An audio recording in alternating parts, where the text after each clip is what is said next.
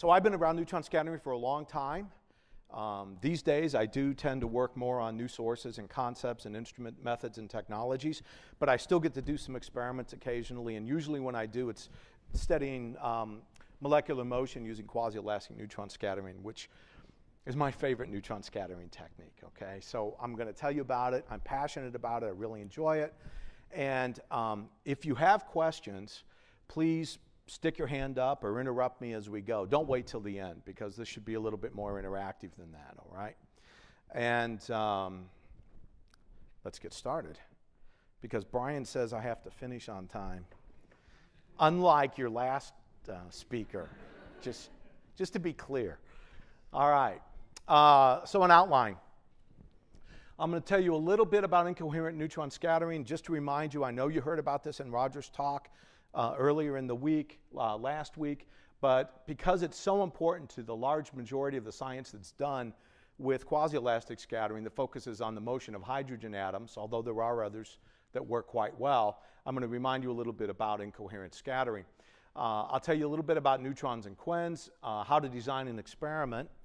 Uh, one of the reasons I really like quasi-elastic neutron scattering is because there's a very strong connection to simple theories like molecular dynamic simulations they are relatively simple to do these days. There's lots of tools. I'll tell you about an elastic incoherent structure factor, which is a, uh, a method to extract geometric information about the types of diffusive motions that you're going to be looking at with quens that don't rely on sophisticated modeling, for example. Uh, instrumentation plays a huge role in the types of information, the time scales and length scales that you can sample with quens, and so I'm going to go over that role a little bit with you. Um, and then, I'm, in fact, at the end, I'm going to give you an example of measuring uh, some, the diffusion of some molecules that are tethered inside silica using more than one instrument and more than one resolution, more than one dynamic range, and uh, explain what we can get that's similar on both um, instruments and what's different about them. And then I'll give you a list of references and a summary at the end. So, incoherent and coherent scattering. Right. Incoherent scattering will happen anytime there is a random variability in the scattering lengths of the nuclei that are in your sample. Okay? And that can come about from several different ways. You can have different atoms with different scattering lengths. You can have different isotopes of the same element that have different scattering lengths. Or you can have scattering from isotopes that have non zero nuclear spin, like a hydrogen atom that's spin half, okay, a proton basically. All right, and if, there, if you have a non-zero nuclear spin and a random or distribution of the relative orientations of the nuclear and the neutron spin, then you will also get incoherent scattering, okay? So that's the underlying phenomena that give you incoherent scattering, but here's the important part you need to know. Coherent scattering gives you information on spatial correlations. It's directional, so if you're looking at a different, different scattering angles, you'll see, for example, Bragg peaks. Okay, that's coherent. That's a collective phenomena. It's a, it's a multi-atom uh, uh, correlation. And it tells you about collective motions like uh, phonons, for example, in uh, single crystals. Incoherent scattering, on the other hand, is, uh, looks at the uh, behavior of individual nuclei or atoms. Right? So it's, we call it single particle scattering.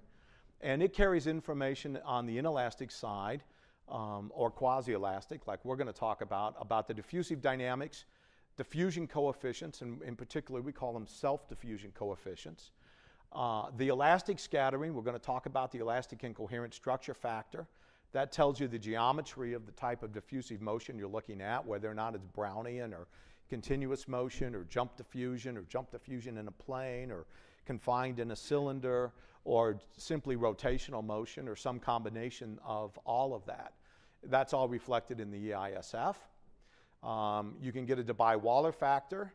Uh, and for example, I can tell you how many hydrogen atoms are in your sample based on the, the strength of the uh, uh, elastic incoherent term. There's some discussion, um, a good basic discussion of the relative roles of these things. There's a classic book by Marshall and Lovesey. It's out of print and has been for a while, but you might be able to find a copy somewhere in your library. Uh, this is a little bit more recent book, although it's getting a little older too, but it is more commonly available methods of X-ray neutron scattering in polymer science. And it's got a good discussion about coherent and incoherent. Okay, so that's the overall background. We're now going to take a look at what it is about hydrogen that makes it special for us.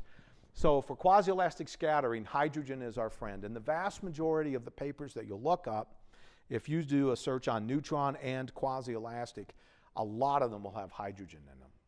Okay. Um, and in fact, I believe you, those of you that are going to be doing an experiment on BASIS this week will be looking at um, uh, um, ionic liquids, a, a proton bearing ionic liquid. And that essentially falls into this category. So here's the thing about hydrogen it's a spin half. Uh, it has a very large incoherent neutron scattering cross section. In fact, um, it's uh, about 80 barns. So 80 barns, a normal cross section might be on order a barn or less. So it's very strong scatterer. So often if you make a sample that has hydrogen in it, the incoherent scattering will dominate the signal that you get. Um, hydrogen and deuterium have opposite sign scattering lengths. That affects the coherent part. Uh, deuterium has a much smaller cross section and a much smaller incoherent cross section. So if I am designing a sample and I want to see the motion, say, of one part of the molecule, I'll protonate that part of the molecule and I'll deuterate the part that I'm not interested in. Okay, because deuterating suppresses the signal for uh, quens and uh, protonating increases it. Okay, so if I want to look at, um, say, a solvation problem where I want to look at some molecule in a solution, say a protein in a solvent, I'll deuterate the solvent and protonate the protein. Okay? So that's how you would do that experiment. All right. That make sense? Okay. Uh, why should you care about quens? I care about quens. Okay. Why should you care? Um, there's a lot of science areas that can be addressed biology, water solvent mediated dynamics, including proteins, um, chemistry, ionic liquids, that's the subject of your experiment uh, on BASIS. Lots of water in porous media on surfaces, water at interfaces, clays, other complex fluids, uh, proton diffusion in uh, um, ionic conductors, uh, those kind of things, proton conductors, hydrogen storage. Hydrogen is a very ubiquitous uh, element. And uh, so, since it's so well suited to quens, uh, Quens uh, looks at a lot of science areas. We probe two diffusive motions. Another reason I like Quens is that there are a large number of analytical models, uh, much like SANS, where you can take a model, apply it to your data, and uh, do a parametric study and extract information, or um, uh, uh, provide a framework for thinking about what it is you're measuring. Close ties to theory, particularly MD. It's complementary to dielectric uh, relaxation, NMR, light spectroscopy. They all overlap in some part of the dynamics range that they're sampling. And in particular, the reason we do it, even though it's expensive, because neutron scattering in general is um, an expensive facility and things like that, is you can answer questions you can't answer any other way. Uh, just for fun, here is a um, set of the publications by year um, that use, let's see, I think the search term for this was neutrons and quasi-elastic. Okay, and then I threw away the high energy physics ones because there's a, some high energy physics that calls, goes in there as well. Um, and so, you know, last year there was a little over 100 papers. It's about 100 papers a year get published um, with those simple search terms. So, what do we mean by quasi-elastic? Well, here's a schematic of a neutron experiment with the incident and final uh, neutron momentum. Of course, you remember the momentum transfer is just the difference between these two. And um, the thing I want you to remember and remind you again here, and I will over and over again, is that momentum is the reciprocal variable to length. Okay? So that means if you're looking at small momentum, you're looking at what kind of link scales? What? Large, right. Or if you're looking at large Q, you're looking at small link scales. Uh, energy and time are reciprocal lattice vectors, and the same thing holds. Okay, so small energy transfers means large time scales, and we'll talk about that. Largely, what that means in Quens is the relationship between the instrument resolution and energy and the longest time scale that you can, you're sensitive to on any given instrument. So when omega, the energy transfer, is zero, it's elastic scattering. When it's not zero, it's inelastic. And then we have this kind of interesting intermediate that we call quasi-elastic because we're interested in both um, uh, what the elastic intensity is and the near elastic region, say energy transfer is less than a few millivolts. Okay? And we call that quasi-elastic. There's a bunch of approximations that happen at very small energy transfers. For example, harmonic motions look like flat backgrounds. Okay, so phonons in a material are just flat. Um, there's another set on the other end um, at uh, very large energy transfers and momentum transfers called the impulse approximation, where the scattering looks just as if it's coming from a single uh, nucleus and you forget about everything else. So it's kind of interesting. There's these two regimes. Quasi elastic scattering, I put this up just to give you a little bit of a picture to hold in your head. You have a well defined incident beam of uh, uh, pool balls, all traveling in the same direction, all with the same momentum, the, all the same vector.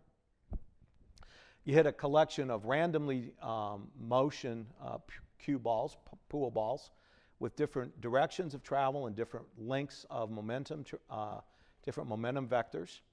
And what happens is you measure these guys after they scatter from this ensemble.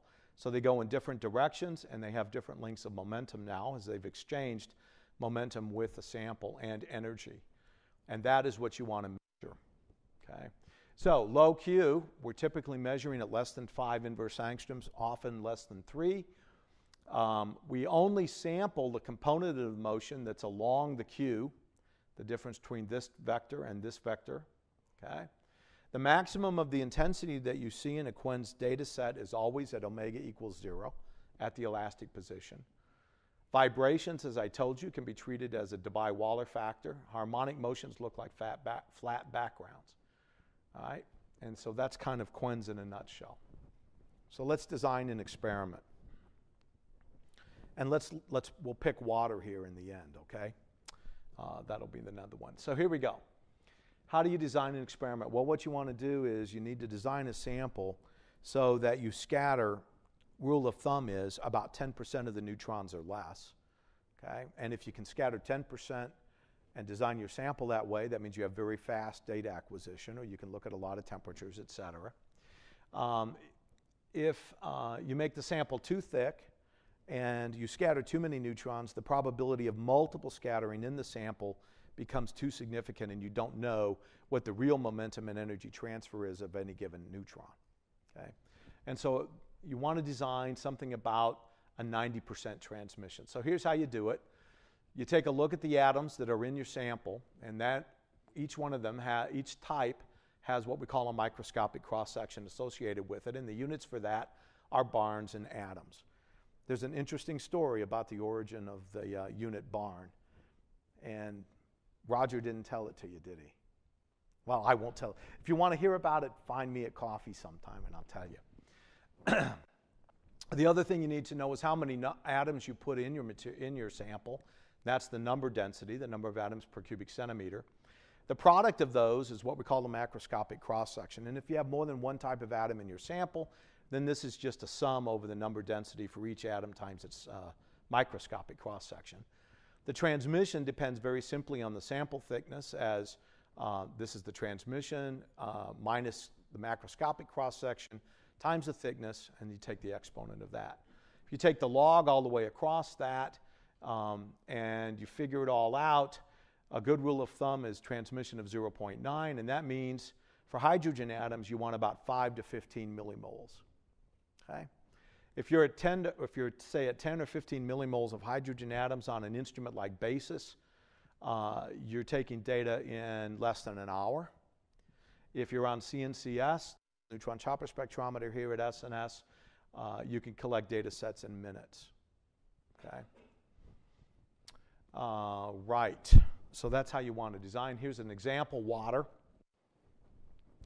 So we all know the number density is 1 gram per cubic centimeter times a mole per 18 grams. This is uh, H2O, not D2O, and times Avogadro's number, and that means that you have 3.3, 10 to the 22 water molecules per cubic centimeter. You have, for each, the only thing we care about is the hydrogen. The oxygen cross section is too small to worry about. You got two of those per water molecule, and uh, 80 barns approximately um, cross, uh, microscopic cross section per hydrogen atom. You multiply those two together, and the macroscopic cross section is 5.34 inverse centimeters. Right? You take the formula we had on the previous page, and you'll find that the ideal sample thickness in this case is 200 microns. Right? So the lesson to take from this is if you're going to study hydrogen- hydrogenous materials with quens, the samples typically got to be pretty thin. Um, so often we make these in the form of an annulus, uh, a cylinder with uh, uh, you know an ID that's just uh, slightly less than the OD, and you put a fluid or a liquid in there. Okay. So that's the case of water. so what's a Quens spectral look like? Uh, so I often claim that all SANS, small angle neutron scattering spectral, look lo- alike. Quens spectral look alike too. Okay. There's always a broad part. There's always a peaky part in the middle as a function of energy transfer. All right? The part in the middle is the elastic is often, at least, an elastic term that is a part of the scattering that does not have any energy transfer. Okay, and we'll talk about that in just a minute. Broadened by the energy resolution. Okay, and that's the elastic part. The slowest time that you can measure on a given instrument is set by the width of this resolution function, right? Because energy transfer and time are reciprocal variables, right? On a BASIS, the backscattering spectrometer is about three and a half microvolts of energy resolution, full width half max. For a strong scatterer, you can see things as slow as several nanoseconds in time scale. So that's kind of how it goes, right? You also have a broad part that we often call the quasi-elastic part. Uh, and then you have these little inelastic bumps that I don't usually care about, but some people do. Okay. This quasi-elastic part has an area, right, and it has a width. Okay. The width of this quasi-elastic part tells you how fast the motion is that you're measuring. And the area tells you a little bit about either how many atoms are that are participating in giving you the signal, or, and there's a geometric contribution uh, term that comes in in a minute, and we'll talk about that. The fastest time that you're sensitive to on any given instrument is the maximum energy transfer it can go to.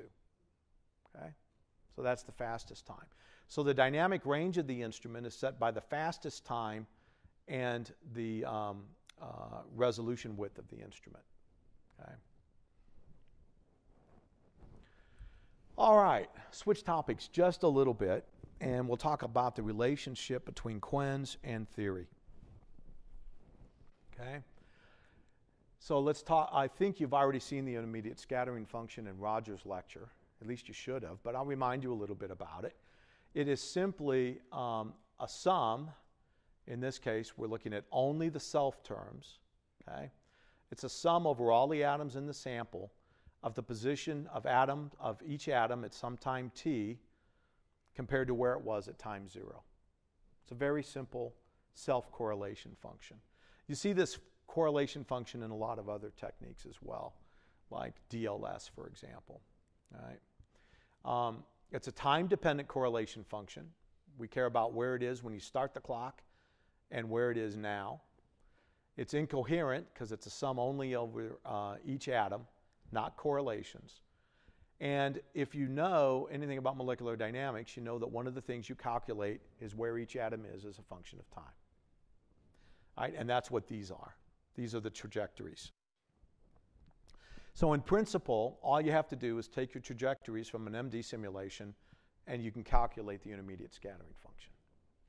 Okay? Um, then, if you Fourier transform this into energy space, you have what we call the dynamic structure factor. In this case, again, the single particle or incoherent form of it. Okay? And so it's just a Fourier transform of this with, uh, with, uh, with time and energy. Right? This is essentially what you measure in a neutron scattering experiment. Right? there's a few constants like a phase space const, uh, factor of Ki over Kf and a cross section. But when you take all of those things out, this is what you're measuring as a function of scattering angle and energy transfer. Right? So it's a pretty fairly direct step to go from your neutron experiment to this function and then form the link back up to, say, an MD simulation. So it's quite direct, and it's, um, it's very common to have an MD simulation to help provide some of the context for analysis of QENS data. There are some tools out there on the web to make this transformation. Um, there's one that was uh, created a while ago called nMoldyn, and you can find the source code for that here. Uh, there's a more modern version of this type of code called Sassena, which uh, gives you uh, a, plat- uh, um, uh, a framework for running it on, on um, parallel computers. So this is kind of a parallel computer version of nMoldyn. All right. This is going to be the science example we're going to talk about. So let me tell you a little bit about what you're seeing. You're looking down the pore of a um, MCM41, which is a porous silica. It's a very nice silica. You can tailor the dimensions of these pores over quite a wide range. The other nice thing is that they arrange themselves in a rather in a, in a nice unit cell hexagonally, and so you can, you can uh, simulate them quite well. The pores are not really connected uh, um, uh, except through, uh, I guess, the pore walls, and so these, these, these are dynamic. But things that happen in this pore are, are essentially isolated from things that are happening over here. Okay. Um, this is diphenylpropane. So there's uh, two phenyl rings and a propane linker. And if you have a very good chemist, you can tether one end to the silica substrate. And this is what we did. And we looked at diphenylpropane as a function of how many molecules you put in a given pore size and what happens when the pore size changes. So the curvature changes and there's more or less surface area uh, for the diphenylpropane molecules to interact with. So I'm going to show you, just to give you an idea of what kind of dynamics you might be able to see, I'm going to show you a quick movie. And it's a bit jittery, um, but it's a dynamic matrix, so these guys are vibrating. These are the diphenylpropane molecules, and they're doing a lot of vibrational motion as well.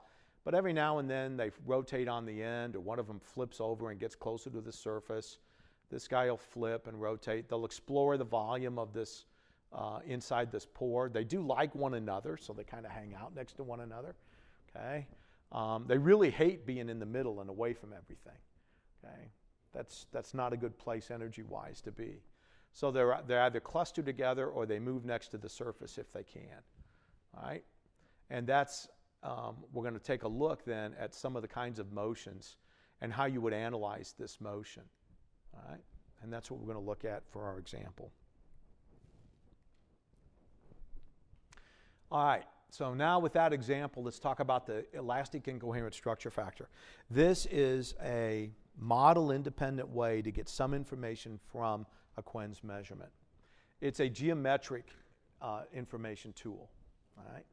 So pretend with me that you can draw a box around, and we care about hydrogen atoms. So I'm going to draw a box or a cube around this hydrogen atom whose dimensions are 2 pi over q, right? Because length and, time, and q are inverse uh, reciprocal variables, right? And I'm going to do that at time t equals 0 whenever I start my clock, right? If the hydrogen atom stays inside this box the whole time, okay, then on that length scale, it doesn't look like the hydrogen atom is moving. And all I measure is elastic scattering. Okay? If the hydrogen atom moves outside of the box, okay, then it gives me a quasi-elastic broadening if it moves out of the box on a time scale that I'm sensitive to. So if it moves out of the box in 15 minutes, I don't care because my relevant time scales are pico and nanoseconds, okay? But if it moves out of the box in pico or nanosecond time scales so that I can measure it with the resolution that I have on the instrument, okay, it gives rise to this kind of a signal, then um, it will no longer appear elastic, it'll appear quasi-elastic.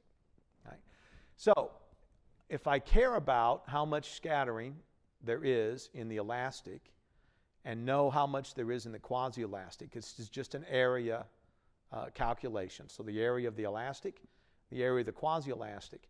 If I take the ratio of the elastic to the total, okay, that doesn't depend on normalization because all of that's re- canceled out. It only depends on being able to model how much is here versus how much is here, and you can do that in a number of different ways. Then you're going to calculate the EISF. Right? It's essentially the probability that a particle is found in the same volume of space at a subsequent time that's on order of the instrument resolution.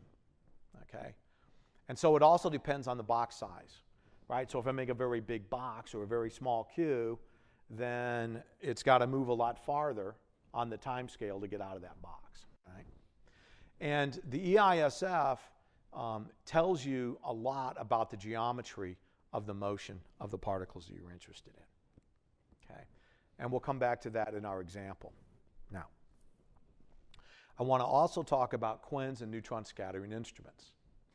So we said at the beginning that quasi-elastic scattering typically works at Qs less than 5, and in fact, usually the momentum transfers are somewhere between 0.1 and say 4 inverse angstroms because there's a few wavelengths that are often used, and there's only so much angle that you can use to get Q. All right? And the length scales that correspond to that are about 30 to 60 angstroms down to a couple of angstroms or so. And of course, this all depends on the wavelength and the angle of the measurement. The time scales are set by the width of the instrument energy resolution. For a quens capable instrument, usually that's 100 microvolts or less. Okay? But higher resolution means longer times and slower motions. Right? The total dynamic range is often less than 2 millivolts. I said certainly 5. So high resolution requirements, like here, 100 microvolts or less, emphasizes the use of long wavelength neutrons. But long lambda means you're only going to get a certain Q range, right? Because Q is determined by lambda and angle, and long lambda means small q. So the incident neutron wavelengths are typically anywhere between 4 and 12 inverse angstroms. And in, that's what they are in millivolts. All right? So that sets the Q. So at 6 angstroms, your Q range is typically 0.1 to about 2 uh, inverse angstroms. So why do we have a variety of instruments? And I'm going to get, tell you about instruments here in just a minute. The instruments often vary in resolution from about a microvolt to 100 microvolts. That's a hundred-fold change in the instrument resolution. All right. Um, I'll remind you that something that Lee probably told you, which is if you're doing an inelastic or quasi-elastic measurement, you have to know what the energy of the neutron is ahead and after the scattering process. Okay? That means that you have to have a certain resolution for the incident energy and a resolution for the final neutron energy. Right? That means to improve the resolution, you need to improve the resolution of both of these terms, typically in an optimized case. Right? So each improvement in the resolution often costs you linearly in neutron flux. Okay? So you have to throw away neutrons to get a tighter band, a tighter energy band, and better energy resolution. Right? If you make them approximately equal, then a factor of 2 gain in resolution costs at a minimum about a factor of 4 in flux. So this is why if you want to look at um, relatively faster motions and you can use a coarser resolution, you don't want to give up a factor of uh, 100 squared uh, in flux to get there. Okay? So you measure it on, an, on, a res, on an instrument that has a broad resolution and not a narrow resolution. All right. Often, instruments with broader resolutions um, might also have a larger dynamic range, like cold neutron chopper spectrometers compared to backscattering spectrometers. All right, so here's the role of instrumentation. There's about 25 neutron scattering instruments in the world that are useful for quens. There's about six of those in the US, so the competition is high. Okay? But the opportunity is good because in the US we have some of the best quasi-elastic neutron scattering instruments and capabilities available in the world. They're available at the NIST Center for Neutron Research. Has anybody been to NCNR? Yeah. All right. Nice place, great instruments, nice people, good food. Lots more choices than you have in Knoxville. If, you, if you're ever interested, I'll tell you, I'll, I'll give you my favorite restaurants in Washington or Gaithersburg. Well, not so much Gaithersburg, but close by. Um, and here at the SNS, we have BASIS, the backscattering spectrometer, and the cold neutron chopper spectrometer. And just for fun, I threw in the neutron spin echoes, and they measure uh, dynamics um, on these time scales and much longer, but in a different way using spin precession methods. We'll talk about that, but that's a whole nother talk. So here's the trade offs. We talked about the trade off between resolution and count rate. So to get a factor of two improvement in resolution, you're often down at least a factor of four in count rate. And if you haven't designed the instrument very well, you can be down a lot more than that. Um, there's a trade off in flexibility. Disk chopper spectrometers can change the wavelength and that map through a Q omega space really flexibly. Backscattering spectrometers are kind of tied to the selection of, of analyzer crystal, what you can sweep through. Uh, the dynamic range is a very important parameter. And the neutron wavelength, of course, uh, determines what your min and max Q are going to be. And again, large, large wavelength means high energy resolution, long time scales, and slow motions, but it limits your Q range and uh, uh, limits you to looking at larger length scales. Okay? So those are your trade offs. Okay. Uh, Brian, how much time have I got? No. Come on. 20. 20. We got any, you guys got any questions up till now? Pretty straightforward. Okay, because I wanted to, I do want to get to the science example. So this is the high resolution neutron energy landscape. There's uh, backscattering, and this is the Q omega.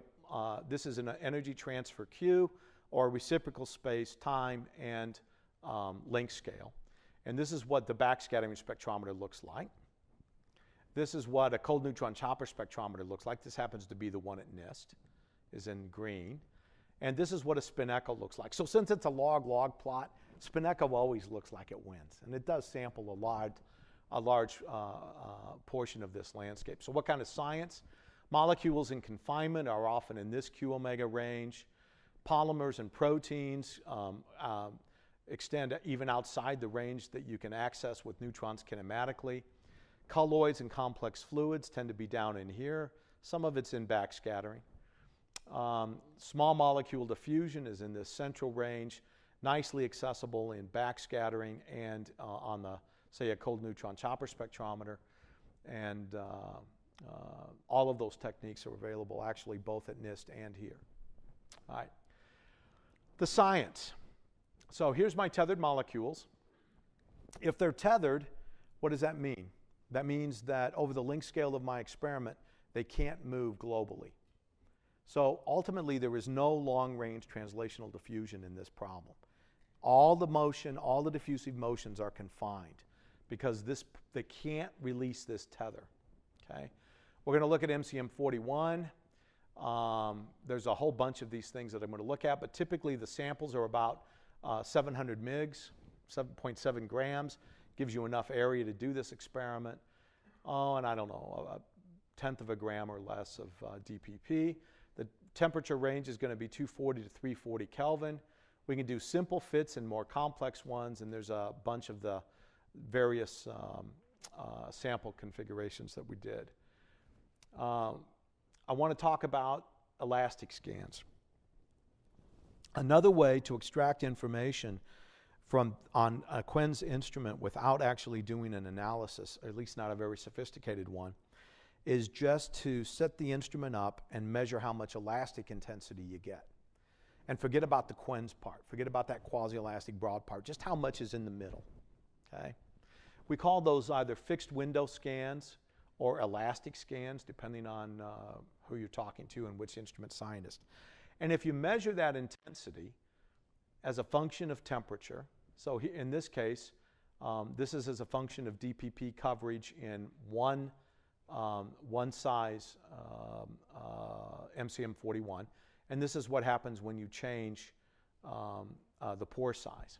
Okay? This is what bare MCM41 looks like. So if there's no quasi-elastic dynamics, the only thing you're seeing is the Debye-Waller effect. Okay? And the Debye-Waller effect um, looks pretty much, as long as it stays harmonic and as long as nothing's happening, it looks pretty much like a little bit of a kind of a flat line with some slope uh, decreasing slowly as you go to higher um, uh, temperatures.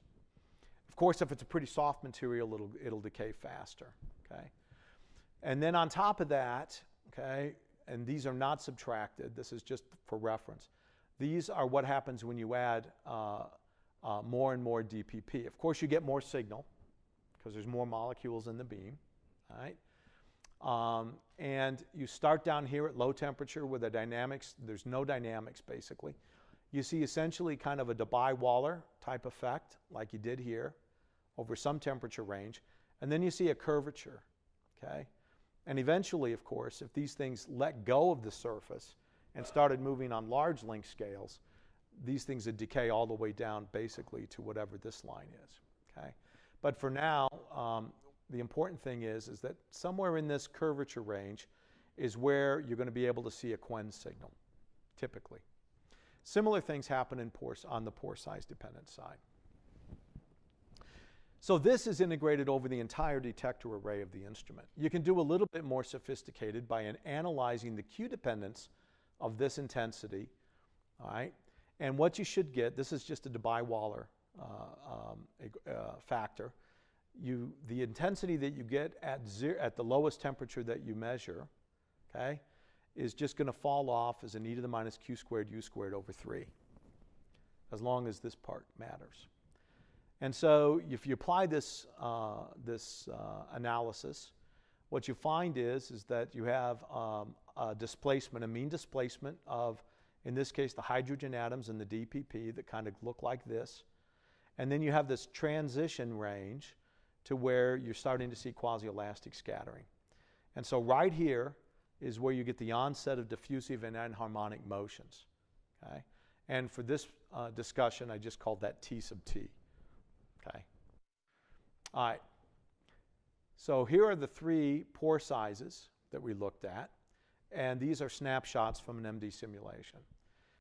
Of large pores, and, and the, oh, sorry, the other thing about these is these samples have as many of the DPP molecules as you could crowd in there, okay, as you could tether, all right? So, of course, you get more molecules in a larger pore, but you end up, the molecules actually really like to hang out near the edge.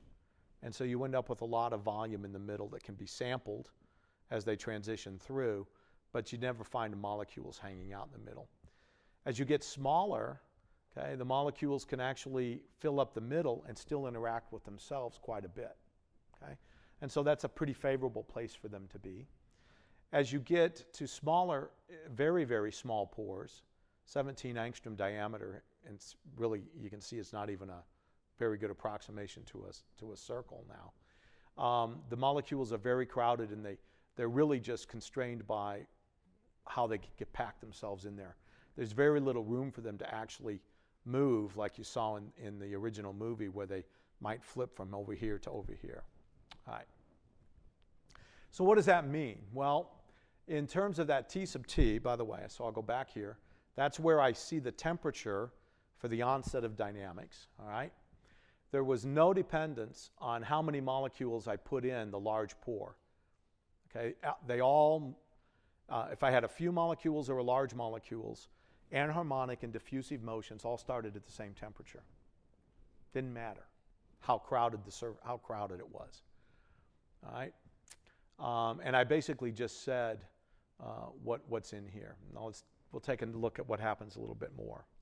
Okay, so this is a Quen signal um, collected on the high flux backscattering spectrometer at NIST. Okay, and we're going to do the EISFs. All right, and here's what they look like. Right, so as a function of temperature for the 30 angstrom diameter uh, sample, okay, the EISF as a function of momentum transfer does this. It starts at zero or starts at one, okay, because at momentum transfer zero, how big is the box? 1 over 0 is infinity, right? So the EISF is always 1 at Q of 0 because it doesn't matter what's happening. They never get out of the box, okay? And then uh, this is a model this fit to the data. Okay? It gets very hard on HFBS to get data down here for a couple of reasons.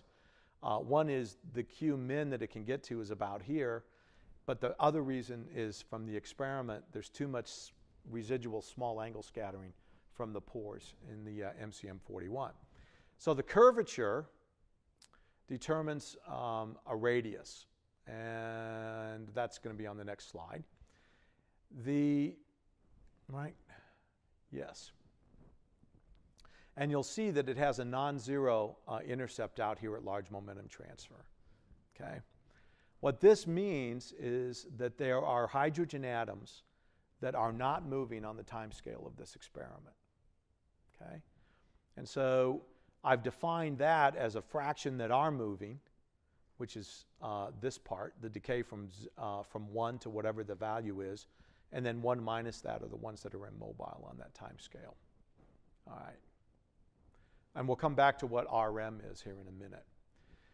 Let's take a look at what the widths of the Lorentzian are. So remember, I fit this in a real simple term. I fit it with an elastic and I fit it with a Lorentzian. Right? The widths of the Lorentzian do this. As a function now of q squared, there's a linear region and then there's a flattened region up here. The important thing to take home from here is that the intercept here is non-zero. Okay? That is a signature of restricted or confined diffusion. Okay? That means that the molecules or the atoms are not able to continue to move out of the box that we've defined by Q. Which we know because they're tethered. Right? So those are some of the things you can learn already.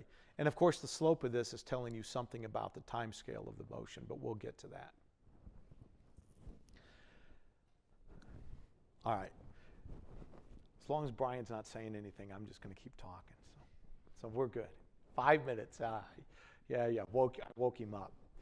Um, let's talk about a model. So we can put pretty complicated models together. Um, this one's actually a pretty simple model, although it looks a little bit complicated, but it's pretty, pretty simple. It, what this model has, and here we're thinking about the motion of a single hydrogen atom, it's got a radius that the hydrogen atom can bounce around in a sphere. The sphere has impermeable boundaries. Okay? So this hydrogen atom can only sample what's going on. Oops, sorry, I thought I had a little squiggle. Inside of this sphere. This is a model, this is the simplest model for restricted diffusion that exists. Okay? So your hydrogen atom is confined in space to a spherical volume, and it moves around randomly in that volume. That's a simple model. Right? Our molecule is more complicated. It has a tether point down here, and it has a lot of hydrogen atom positions. But intuitively, the farther the hydrogen atom is from this tether point, the larger volume it can sample. Because the molecule can have conformational changes, it can pivot around this point. And so, what we're going to do is we're going to build a model that's an ansatz of a lot of spheres, okay, with big spheres out here associated with that atom, hydrogen atom, and smaller spheres associated with the hydrogen atoms near the tether point. And then, just to be simple, we'll say that the sphere diameter changes linearly from here to here. Okay, nice simple model. Right? It's been used before. I didn't create it. I found somebody else that had used it once or twice. Okay. Um, and so here's the linear model. It depends on how far away it is from the tether point. And the parameter we're going to fit is the largest diameter sphere, which is located out here at this hydrogen atom that's farthest from the tether point. And here's my model for the dynamic structure factor. I have this is an elastic term, right? This part is my background from the MCM 41, right? This part is um, how much of the hydrogen atoms are not moving Okay? That's this part. This part is how many of them are moving. Okay? So this one, if they're not moving, then it's a then it's a delta function in energy transfer. It's just elastic scattering. All right? Here's the fraction that are moving. They have a Debye-Waller factor associated with their vibrational motion. And then this is this um, uh, motion uh, in, a, um, in a sphere um, that we talked about just a minute ago. The other term in there is the diffusion constant, how fast it moves inside the sphere. And what we're interested in are these two numbers and how many molecules are moving. So if I put all that into some nice computer code and I write it all up and I fit all of now my backscattering data from BASIS here at SNS, I can fit all the data, it's a log scale here, to that model and you can see it does a really good job of defining it over the energy transfer range from about minus 100 microvolts to 300 microvolts and over the accessible Q range. Okay? So the model works well. Whether or not it captures any of the real physics or not is, is, is kind of up to you to decide, I guess, or simulation. So the first thing we care about is how extended is the motion? How big is the R? All right? So um, as a function of pore diameter, okay, this is kind of counterintuitive. As I make the pores bigger, the maximum amplitude uh, that's sampled by the, uh, by the diffusive motion of the tethered molecule is smaller. And I alluded to that when I showed you the pictures. What happens in the large pores is all the molecules can hang out near the surface. And so they just sample motions near the surface. And this is small. As you get to smaller pore, they can't stick near the surface. They can't get near enough to be happy in the middle, and they just keep sampling the middle volume as much as they can. All right? Um, as a function of coverage, the picture is a little bit different. All right? Um, so here's the, here's the answer though. Small pores and high coverage tend to drive the molecules into the pore center where there's more volume available for motion. And that's the physics of what's happening in this system for the geometry. How fast is the motion? Well, this is the diffusion coefficient. Um, as you get a larger pore, there's less things for the molecules to bounce into. So when they do move, they move faster. Okay. Um, okay. I'm going to tell you really quickly about two instruments, and then I'm going to quit because Brian will you know, tell me to. Here's the high flux backscattering instrument, uh, which is the backscattering instrument at NIST and here's the one at SNS. The one at SNS has lower resolution, but a much broader dynamic range. The one at NIST has a much better resolution, but a much narrower dynamic range. Okay?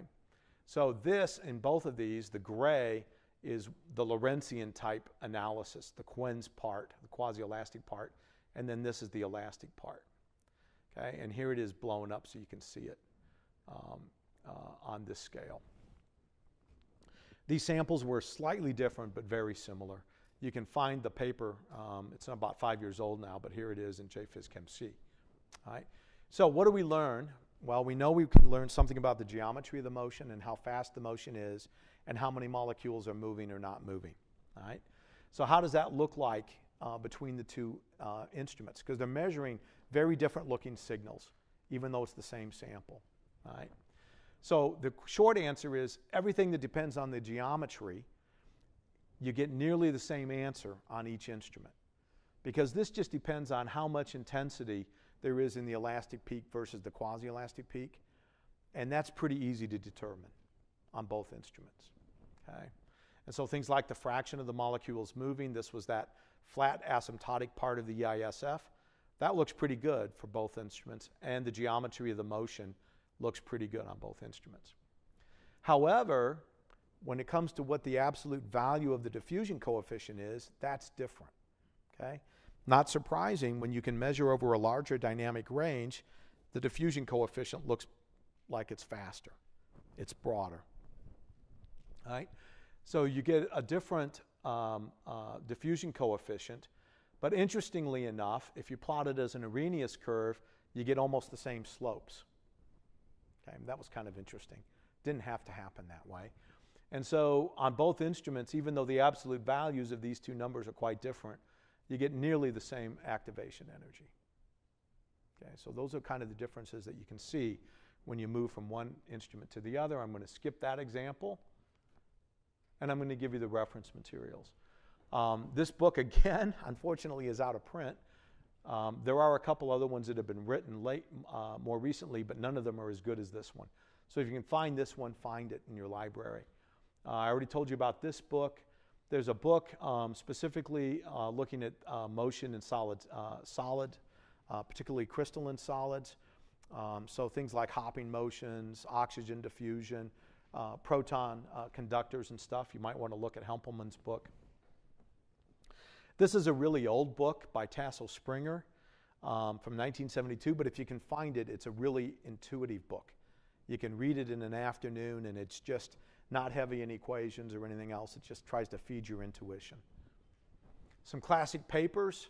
Um, uh, we didn't talk about Van Hove functions, but they're basically the underlying feed in um, uh, to the intermediate scattering function. There's some nice restricted diffusion papers by a guy named Varley Sears. Uh, Vineyard um, is also related to some of the underlying theory. This paper by in Review of Modern Physics um, doesn't talk about QENS much, but it does talk about a lot of the different kinds of diffusive motions you can see. Data analysis we didn't really talk about, but there's uh, a long-standing package that was produced at NIST called DAVE. Uh, does a really good job at doing things like fitting a Lorentzian and a broad component, one spectrum at a time. There's a new um, uh, emphasis um, here um, and with ISIS to uh, work on developing uh, good fitting models for QENS using what's called MANTA, which is MANTID, which is a, um, uh, a, a program for analyzing data for neutrons. Um, and there's a uh, collaboration now going on in the broader European framework for building uh, uh, GUIs and other things to go around this. So this is brand new. Sometime in the next two years or so, this will be pretty robust, I think. Summary. QENS measures diffusion, sub-picosecond to nanoseconds. Um, hydrogen atom is your friend and has great sensitivity. Instrument selection is a critical uh, decision, although you can often tune dynamics with temperature, and so you can move yourself around uh, and find, uh, find out where you, uh, where you want to be. There's world-class instrumentation, and in fact, world-leading instrumentation in the U.S. MD is a natural connection, and there is analysis software out there. And so that's where I'm going to stop.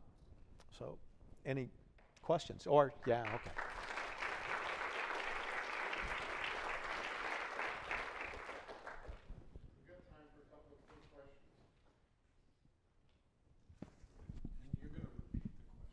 Sure, go ahead.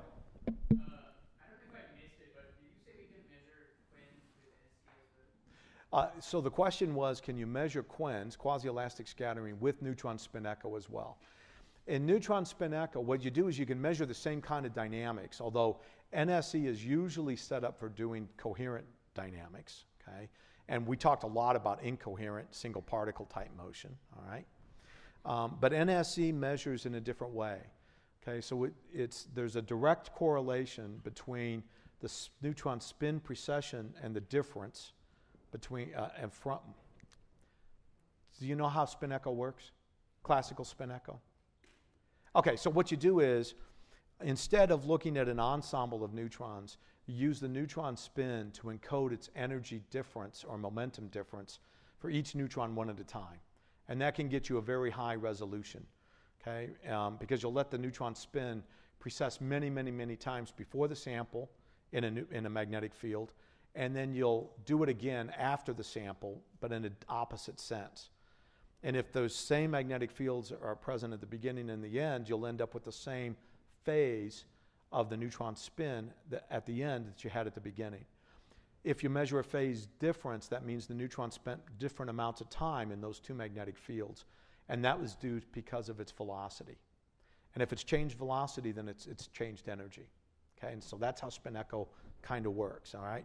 So you're measuring a phase difference in the neutron spin before and after the scattering experiment and after you've done all this precession. That essentially is directly related to um, uh, what we call the Fourier time or the time. So in a, in a NSE measurement, instead of measuring S of Q and omega, you're really measuring the intermediate scattering function itself. So you're measuring it in time domain and not in the energy space. But you can, you can often set up experiments in NSE to get information that you want from a quasi-elastic. But typically NSE is measuring slower motions over larger length scales, at least as often implemented.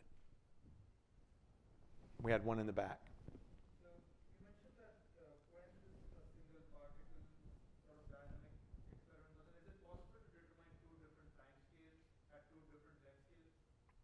So the question is, if it's if QENS is incoherent, so so QENS is not just incoherent. You can measure coherent QENS as well. Okay, it's whatever the whatever the experiment's giving you. I just talked about analyzing and what kind of information you get from incoherent. All right, but if you have an incoherent process, can you measure multiple uh, dynamic processes on different uh, length and time scales, and even do that simultaneously? And the answer to that is yes depending on how well separated those are in either Q dependence or, um, or, or time scale. So if they're very close in the same time scale, they're going to look the same, right? If one time scale is inside the resolution width, it'll look elastic while the other one might be outside of it, okay? Um, you might find a time domain where the faster motion moves beyond your energy window, and then it just looks pretty flat, and you're seeing the other one. But sometimes you'll actually see Lorentzian shapes where you might have more than one Lorentzian, and that could be a signature. Doesn't have to be, it could, but it could be a signature of two dynamic processes. Once you get beyond two, it gets really, really hard to sort everything out unless you've got a good theory model to check it against. That's a good question. Yes?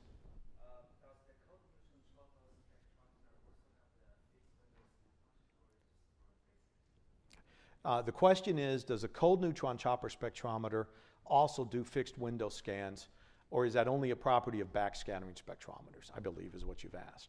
And the answer is on a cold neutron chopper spectrometer, you can certainly look only at the elastic scattering. And because it's often the strongest part, you can get a good idea of what that is on a faster time scale that I'm sorry, on a faster data acquisition time scale then you could measure the full QENS over the, over the energy transfer range. So there is an advantage to doing it, um, to doing a rapid survey on a cold chopper spectrometer, and I've done that on some of my experiments to understand where the quen signal is coming in as a function of temperature. But the reality is you're also measuring the broad part at the same time. But you can measure the skinny, tall part much faster to the sensitivity you need to be able to understand that fixed window scans. So the answer to your question is sure. I'm going to cut the questions off there. Let's thank Ken again. Thank you.